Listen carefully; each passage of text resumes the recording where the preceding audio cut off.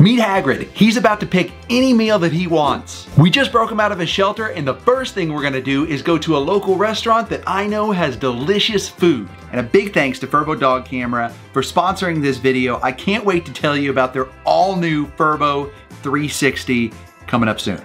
It's here. First, we have the Loco Moco. Now, this is a local favorite, one of my favorites too. We've got two over easy eggs. Under that, check this out.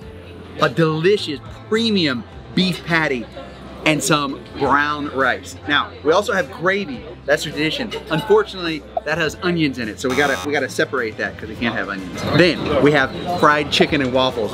Get this, they even put bacon on the top for him. We're gonna pour the syrup on there. We're gonna let him choose whichever one he wants. He can only smell it with one side of his face because the other side of his face doesn't work. He had that stroke. Because of Hagrid's stroke situation, his eyes are affected. Definitely has facial nerve paralysis. One half of his face he can't feel, he can't move, he can't blink that eye. He's got one nostril working still and he can smell it. I'm in my home state of Hawaii right now.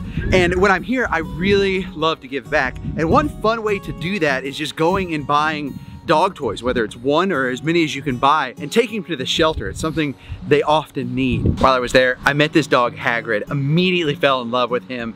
And I got some really sad news that he wasn't gonna make it for very long. He's been through a lot. He was abandoned when he came in. He had really long nails. He is in really bad shape.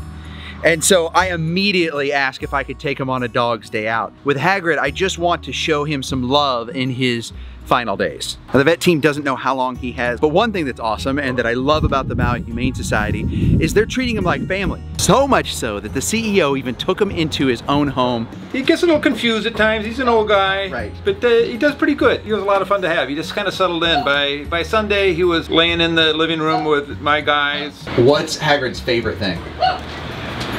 Food.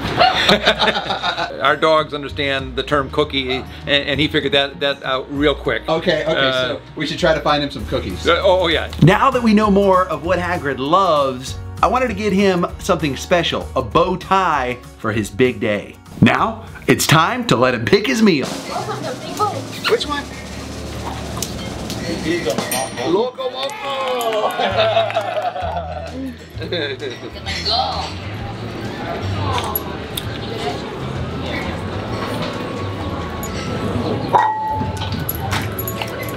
Oh, he loves the Loco Moco. And you know what, buddy? You can have them both. Today's your special day.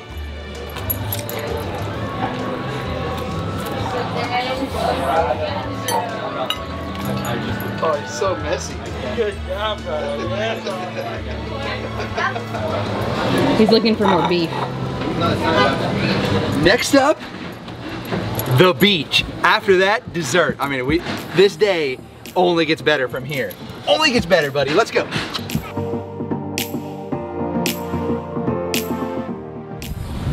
Okay, we got a little soft spot right here, bud. And one, two, three. Okay, good boy. We're going to the spot right now that has some really good shade and some nice green grass before we take him and let him jump in the ocean. The Maui Humane Society has some amazing dogs. There are a few that I want to highlight that are actually available for adoption. Like Colson right here. I am pretty sure he's a full breed English pointer. People would pay a lot of money for this kind of dog because he is smart and energetic. So if you want a dog that is highly trainable that you can exercise with, that's him. Or how about this staff favorite right here, Dwight? He is such a love bug. He was even in a foster home and did a fantastic job there. He's just waiting for his perfect forever home. Make sure you spread the word about these dogs that are available for adoption because the Maui Humane Society has a program called Wings of Aloha so they can often get dogs to the mainland if you're interested in adopting. Hold on, I'm gonna cut in here because I'm gonna cover the adoption fee for both of these dogs in honor of Hagrid. You know, I've teamed up with Furbo Dog Camera. It's something I use in my home. I'm gonna tell you all about it. I really love sharing about their Furbo for good fun. And what's great about the Furbo for good fun is their belief that every dog deserves a loving home. In partnerships with shelters across the globe, every time a Furbo dog camera is purchased, it helps with dog food, healthcare, and training. They're making a big difference in pets' lives around the world. And if you've watched my channel, you've seen this firsthand. I mean, I mean we actually built a tiny house for homeless dogs so they could stay there, and that wouldn't have been possible without Furbo. And I gotta tell you, we just made a major upgrade in our home. I'm in my studio right now, and when I'm in my studio, I wanna be able to see what's going on with my dogs in the house, or get alerts if something's going wrong. Well, I can do that now with our new Furbo 360 that allows us to ensure the safety of our permanent dogs and our foster pups like Winston with a new angle rotational 360 view and color night vision. No more blind spots, so no more worries. Whether you have one dog or you're like me and you have multiple dogs, upgrading to the Furbo 360 is a big help. Here, you see me giving a lot of treats to the dog, but I'm doing that through encouraging them with good behavior. I'm asking Kobe to sit, and when he does that, I toss him a treat. And you can choose between small treats or large treats depending on your dog's dietary needs. When the dogs are home alone in the house, they should be calm and relaxed. If they're not, I wanna know about it. And that's why I love the alerts. Whether they're barking or running, I get notified. And I can check in. Sometimes it's no big deal. Flip's a goofy dog and sometimes he just gets the zoomies. And that's okay. The Furbo 360 dog camera even has auto tracking, real-time two-way audio, and full 1080p HD vision with four times zoom. And here's the best part. Get 20% off the new Furbo 360 plus 10% off when you use code Rocky. I'll put the link in the description. Go click it right now or just go to furbo.com slash Rocky dash Furbo 360. We couldn't do all of this, help all of these animals without awesome sponsors. So thank you Furbo for sponsoring this video. We've had time to relax. We've had time to explore. Our bellies are full. Now it's time to go check out the ocean. It might be his first time ever. Let's go check it out. Oh, the sand is so soft. That makes me so happy. And it's still early enough where the sand's not hot. So he can take his time, roam around. Come on, buddy.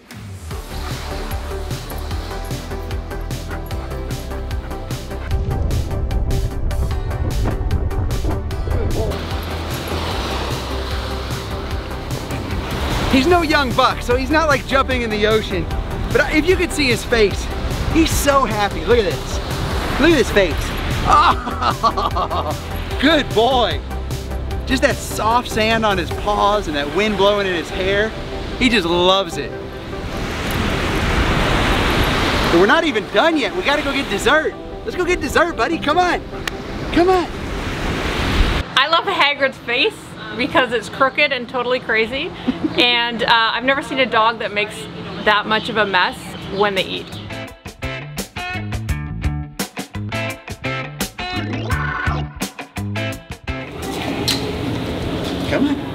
This is Hagrid, and he has come for cookies, which by the way are his favorite thing. Awesome. He's in the right place. Okay, what do you have for him? We have our freshly baked um, Maui dog treats. They have organic peanut butter. Oh. Yeah, oh, that's good, huh?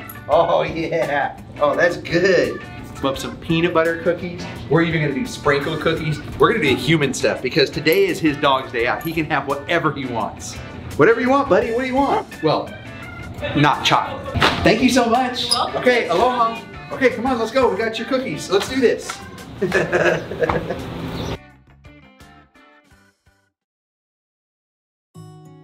his paws. They look like bear paws, and he just looks like he is this awkward, but such a wonderful, wonderful hearted dog. And he is. He's got a crooked face, but he is just an, an amazing, messy, messy pup who is looking for the best in life. I'm throwing my lei in the ocean in honor of Hagrid because he's passed over the Rainbow Bridge. Now, growing up on the islands, this is what we would do in remembrance of our loved ones. Now, I know that can be a little bit sad, but I don't think Hagrid would want you to be sad because in spending time with him, you could almost see the appreciation he had for people taking him in and treating him like family and showing him love. And I'll bet if we could ask him, what's one thing that he would want? It would be for you to carry on his spirit by giving back, going to your local shelter and donating or volunteering, fostering or adopting. And Hagrid, I want to say to you, thank you for reminding me how important it is to live in the moment that what really matters is the love that we show to each other right now.